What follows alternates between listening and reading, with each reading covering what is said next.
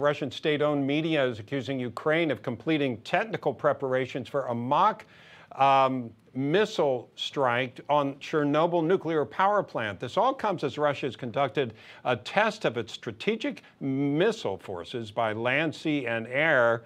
President Vladimir Putin oversaw the long planned exercises, and the U.S. has been warned that they were going ahead. It comes as Russia's ambassador to the United Kingdom claimed Russia would not use nuclear weapons in its war against Ukraine. Stuart Smith reports from Moscow.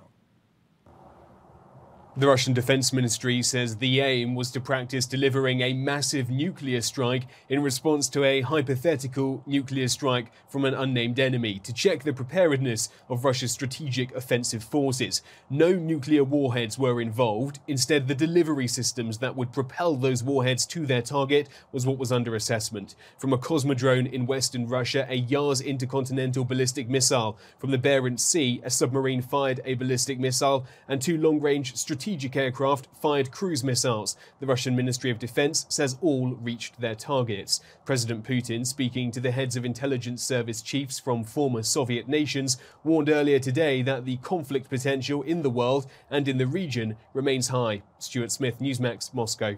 No crooked, crooked establishment. None of that twisting, the truth. No talking down don't to me. Don't tell me how to think. Don't tell me how to think. Don't tell me how to think. I trust Newsmax. Newsmax. They don't tell, tell me how, how to think. think. They let me decide. Newsmax. Real news for real people.